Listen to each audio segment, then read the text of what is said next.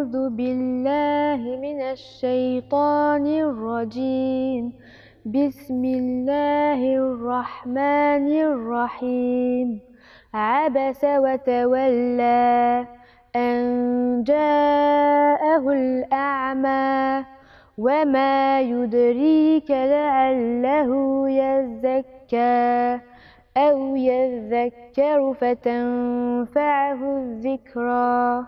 أما من استغنى فأنت له تصدى وما عليك ألا يزكى وأما من جاءك يسعى وهو يخشى فأنت عنه تلهى صدق الله العظيم.